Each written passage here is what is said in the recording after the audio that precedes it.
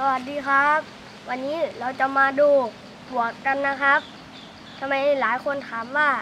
ทำไมมีต้นไม้เยอะจัง เพราะเราอยู่ในป่านะครับ นี่มาดูกันเลยนี่ครับปลวกปลวกนะครับอย่าไปกวนมันนะครับ มันกำลังกิน มันกำลังกินคาราวานปลวก ตัวนี้หลงดูดิ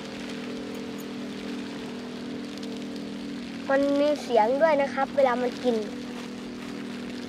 เห็นไหมมันมันตัวสั่น นี่จ้าบวกเป็นทางเลย เสียงวันหนึ่งมันจะเดินเข้าป่าโอ้เป็นทางยาวเลยเนาะโอ้โห โอ้ผม เจอแมลงทับครับนี่หน้าจอครับ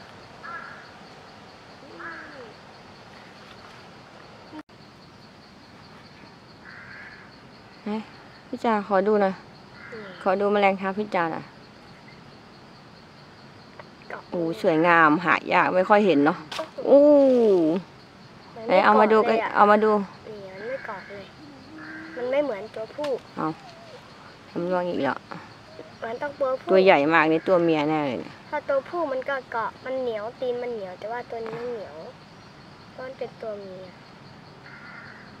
ต้องเอาวางไว้แบบนี้ฮะไหนเห็นไหมมันชอบเลยอยู่แล้ว หล่นกี่หลอดมันอะแม่ยังไม่ได้เห็นเลย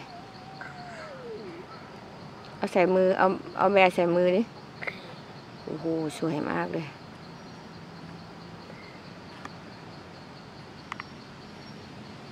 โอ้โห สวยสวย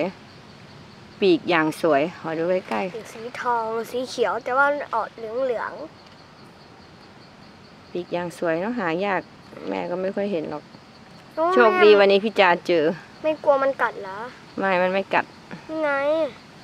ไม่เห็นนะเนี่ยเห็นไหมเห็นไหมมันจะกัดไหมพี่ไม่ แมงทับที่ไหนจะกัด แล้วนี่มันมีปากอยู่แหลมแหลม โอ้ทำร่วงกี่รอบตายแน่เลยๆสีแล้วตาย ตายพอดี